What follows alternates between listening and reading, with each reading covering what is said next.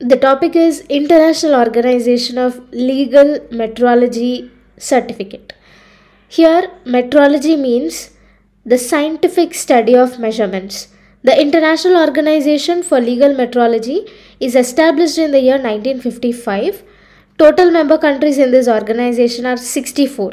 Okay, India has also become a member of it, and it has so becoming a member in that OL OILM means it has the certificate issuing authority okay? That means it can issue register and can make reports on measuring instruments like thermometer clinical thermometer etc okay? Becoming a member of OILM certificate issuing authority will increase exports improve foreign exchange and generate employment in this sector so this is all about the international organization of legal metrology